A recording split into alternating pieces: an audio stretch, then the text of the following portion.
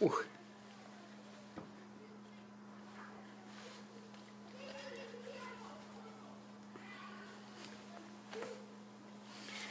E, ajmo malo. Ajmo malo da odradimo.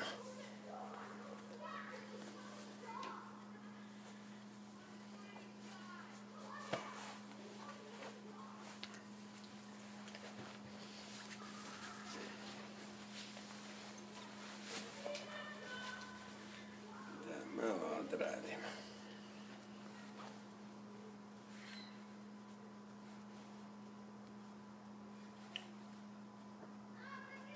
Nešto belo. Neki kolač.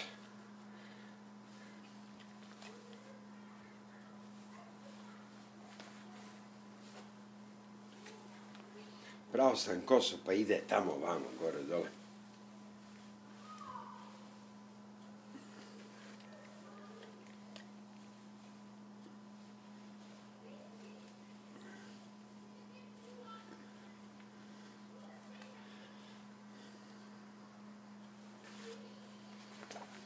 nessa situação nervosa.